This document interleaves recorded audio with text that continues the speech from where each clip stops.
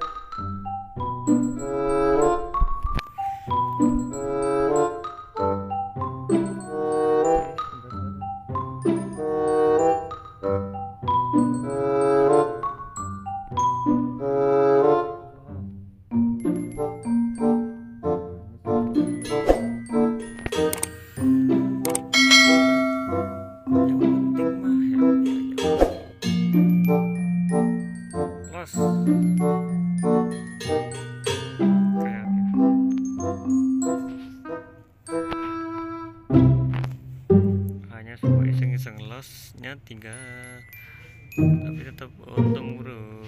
25 Asyik. dapat bro